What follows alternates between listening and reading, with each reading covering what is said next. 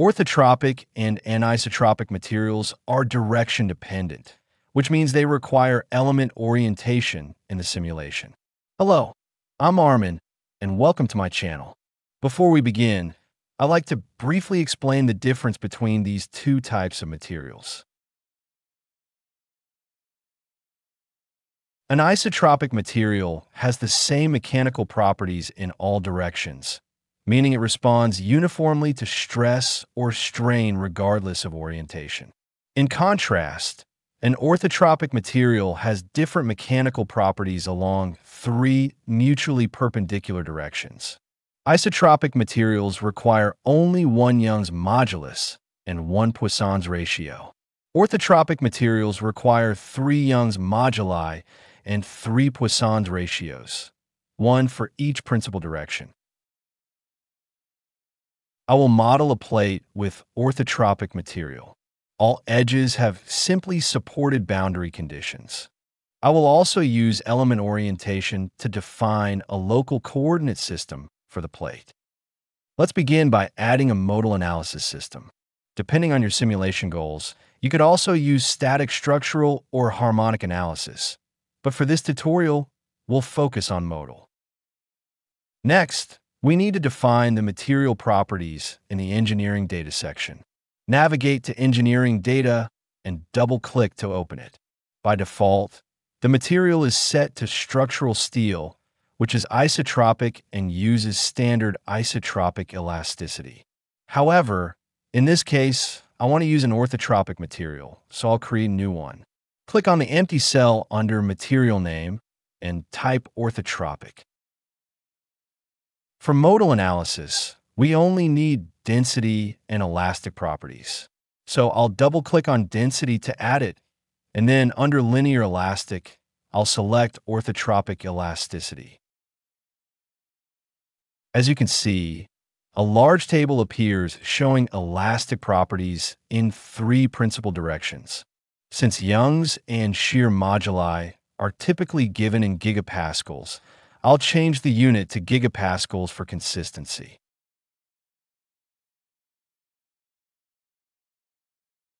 I'll enter the properties for carbon fiber. Young's modulus in the x direction is 130 gigapascals. In the y direction, it is 8 gigapascals. And in the z direction, it is also 8 gigapascals.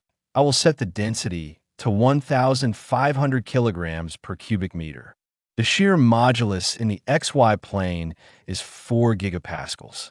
In the yz plane, it is 3 gigapascals. And in the zx plane, it is 4 gigapascals. The Poisson's ratio in the xy direction is 0.25. In the yz and zx directions, it is 0.3. Now the orthotropic material is fully defined. I'll close the engineering data window and move on to the geometry. Right-click on Geometry cell and select New SpaceClaim Geometry. The XZ plane is selected by default. I'll go to the Sketch tab and choose the Rectangle tool. Click on the origin of the coordinate system then enter 500 millimeters by 1000 millimeters and press enter. Now we have a rectangular plate. Next, I'll click on End Sketch Editing. There are two ways to define the thickness of the plate. The first method is to set it directly in SpaceClaim. To do that, click on the surface part in the structure tree, and in the Properties section, Enter 2 millimeters for the thickness. You can now see the panel thickness displayed on the right side of the surface part in millimeters.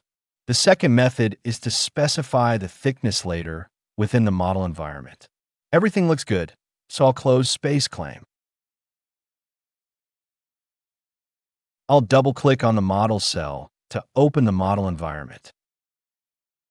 In the first step, I need to assign the material. I'll expand the geometry branch and click on the surface part. As you can see, the thickness was already defined earlier in SpaceClaim. Next, we need to change the material assignment. In the assignment cell, click on the arrow and select the orthotropic material we defined earlier in the engineering data section. Now, let's update the default mesh.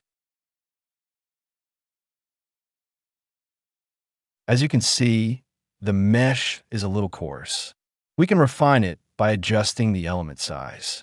I'll enter 0.05 meters and press enter. Then, I'll update the mesh again.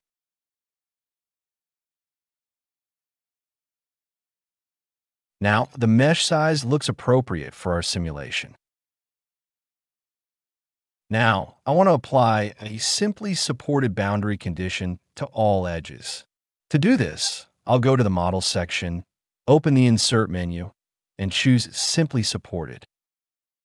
Then, I'll press and hold the Control key and select all four edges. Once selected, I'll click Apply. Everything looks good so far. Next, I'll right-click on Modal Analysis and choose Solve.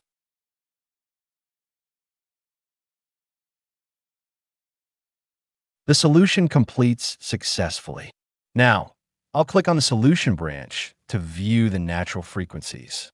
To visualize the mode shapes, I'll click on this point on the tabular data, right-click, and choose Create Mode Shape Results.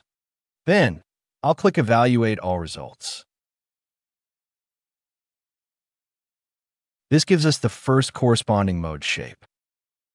As I mentioned earlier, the plate is defined in the XZ plane. To correctly apply the orthotropic material properties, we need to define a local coordinate system that aligns the material orientation from the XY plane to the XZ plane. To do this, I'll right-click on the surface under the Geometry section and choose Element Orientation from the Insert menu. Now we have to adjust each direction of the coordinate system. In the first step, I'll select the plate and click Apply.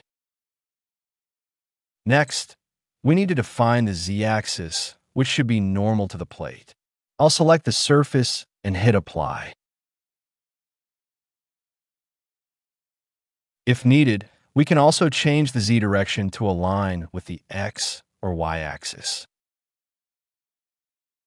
Now, in the final step, we need to define the x-axis.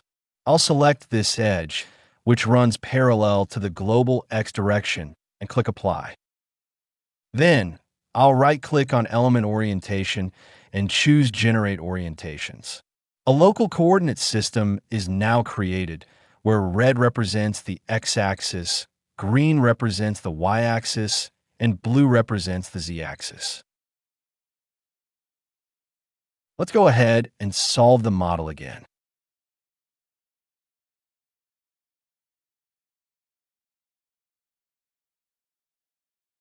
The solution is complete, and as you can see, the natural frequencies have changed. That's because the material orientation is now properly aligned. Let's check the rest of the mode shapes. How can we add an anisotropic material? Let's try it. Double-click on Engineering Data. Enter a name. I'll use anisotropic. Then double-click on Density and Anisotropic Elasticity. Density is a single value while elasticity is a large matrix that we fill based on the anisotropic material properties. We can change the units using this drop-down menu and enter the elasticity properties in the table cells. The tutorial ends here. Thank you for watching.